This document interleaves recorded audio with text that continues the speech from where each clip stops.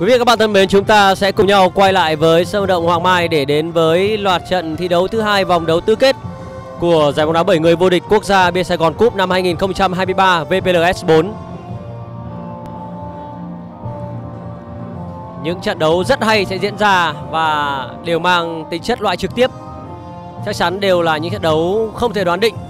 Ngày hôm nay thì ở sân số 2 Mobi sẽ đối đầu với một đại diện đến từ khu vực Tây Nguyên đó là Bê Tông 26 Gia Lai, một những ẩn số ở giải đấu hôm nay. Ở trong những trận đấu loạt trận đầu tiên thì Hiếu Hoa qua cô đánh bại đại diện đến từ khu vực miền Nam, đó là Đạt Tín SPT với tỷ số rất đậm là 7-1. Đây là đường xuất phát của Mobi trong trận đấu này. Trong thành đó là thủ môn số 32 Nguyễn Văn Hưng, số 11 Nguyễn Bá Mạnh, số 19 Lê Thế Mạnh, số 25 Nguyễn Anh Sơn mang băng đội trưởng, số 29 Nguyễn Hoàng Treo, Nguyễn Huy Hoàng, số 38 Đậu Đức Tú và số 99 Vũ Đức Việt như vậy là trong đường xuất phát của Mobi chỉ có một cái tên trong số 3 nhân sự bổ sung đó chính là Hoàng Treo, cầu thủ đã quay trở lại với đội Mobi ở giải đấu năm nay. Huấn luyện viên trưởng của Mobi đó là huấn luyện viên Thành Đen. Trong khi đó đội xuất phát của Bê Tông 26 Gia Lai trong khung thành đó là thủ môn số 16 Nguyễn Mạnh Hùng, số 10 Đức, số 38 Phan Đức Trung, số 20 Dung, số 82 Cao Quốc Kiệt, số 89 Đào Ngọc Nam và số 99 Nguyễn Ngọc Thiên, huấn luyện viên trưởng là ông Cao Thanh Vân. Như vậy là hiệp 1 bắt đầu. Trong hiệp đầu tiên thì Bê Tông 26 Gia Lai trong trang phục màu vàng sẽ bảo vệ cầu môn phía tay phải hướng theo dõi của quý vị và các bạn.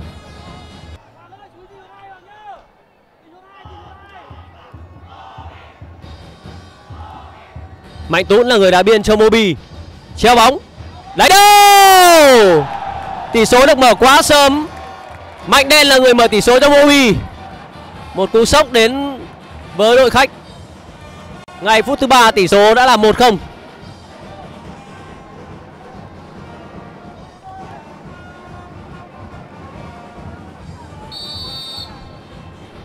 Mạnh Tún, một những hậu vệ biên phải xuất sắc nhất của HPL, đã có đường kiến tạo quá đẹp cho Mạnh Đen.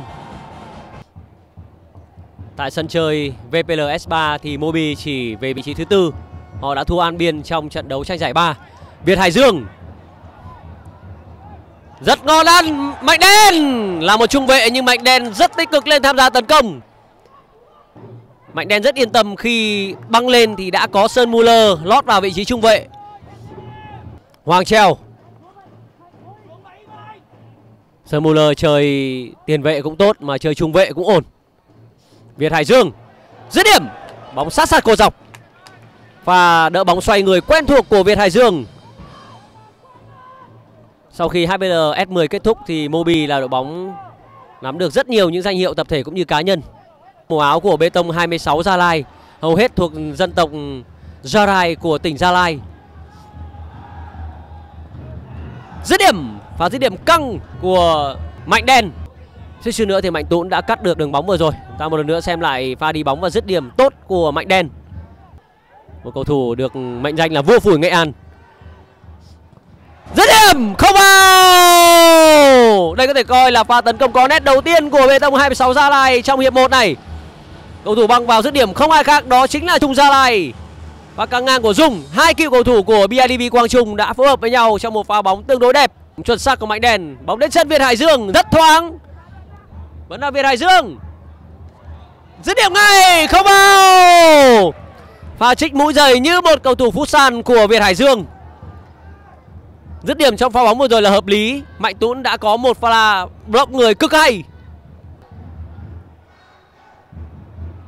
Tiếp tục là cơ Xuống đây Bóng đã chạm tay trong pha bóng vừa rồi.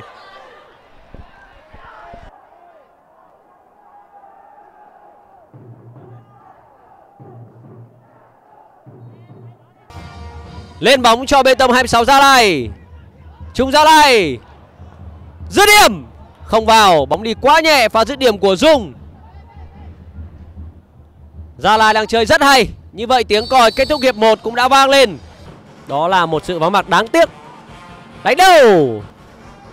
Bê tông 26 Gia Lai đã cẩn trọng hơn với những tiểu bóng bổng của Mobi Việt Hải Dương Tuyến hai mạnh đen. Bóng đi chạy cột dọc tương đối nhiều. Vẫn là pha nhả bóng của Việt Hải Dương.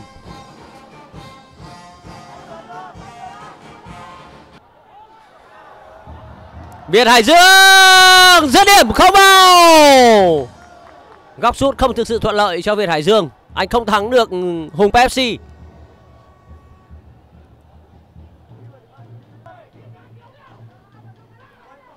Coi!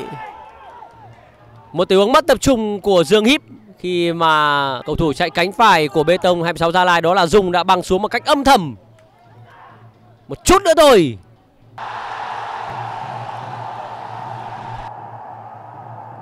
Dương Híp không vào.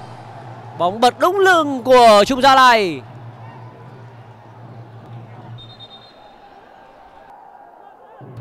Chúng ta xem lại pha xử lý bằng gầm khá hay của Dương Híp.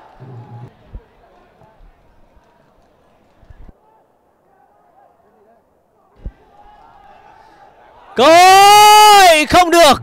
Vẫn còn Tấn Dũng. Tuyến hai, không vào. Bóng vào xa đáng tiếc, sau pha đá bồi vừa rồi của Căn.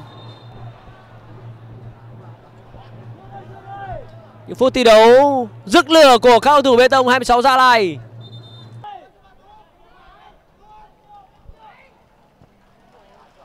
Đáy biên. Cơ.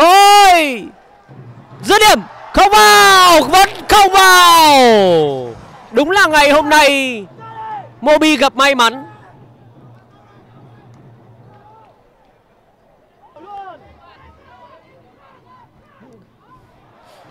Coi vẫn không vào. Và dứt điểm của Bảo Lửa.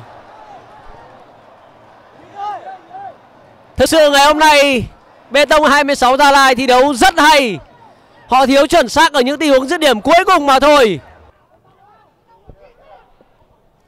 Và cắt bóng tốt của Sơn Muller Vẫn là Sơn Muller Sút bóng. Tỷ số là 2-0 cho Mobi Có thể đây sẽ là dấu chấm hết. Một pha bóng mà đội trưởng Sơn Muller đã tự làm và tự ăn.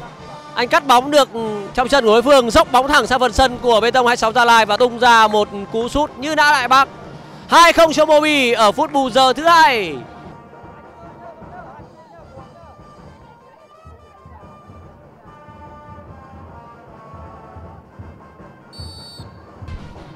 Ta một lần nữa xem lại pha dứt điểm như búa bổ đến từ Sơn Muller.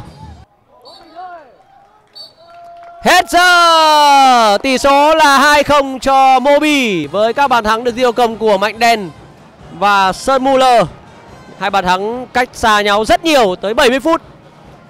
Đây là một trận đấu mà thực tế Bê Tông 26 Gia Lai có thể tự hào với những gì mà họ đã thể hiện. Một trận đấu mà họ đã gây ra quá nhiều khó khăn cho đương kim vô địch của sân chơi HPL một lần nữa chúng ta đã thấy được sức mạnh của những đại diện đến từ bóng đá phong trào Tây Nguyên và chúng ta sẽ cùng hy vọng rằng những trận đấu sau sẽ là những trận đấu rất đẹp của đội bóng này.